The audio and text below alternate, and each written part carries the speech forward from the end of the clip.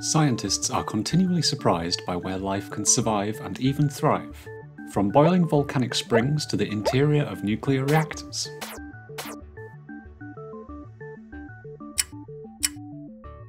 With little in the way of nutrients or light, Boulby Mine is an equally difficult environment to survive in, even for microbes.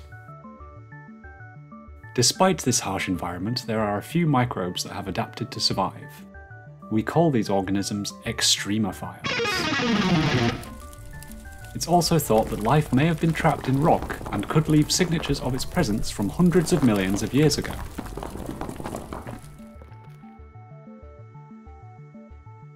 By studying these extremophiles, we can learn more about life both on Earth as well as on other planets.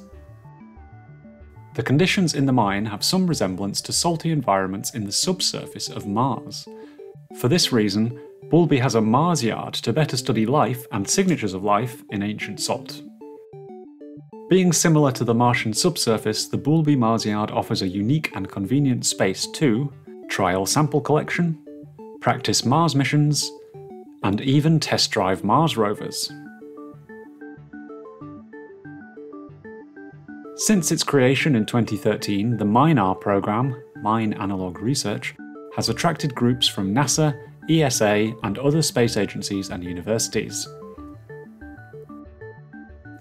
Technology tested deep underground in Yorkshire will be used to explore Mars and beyond.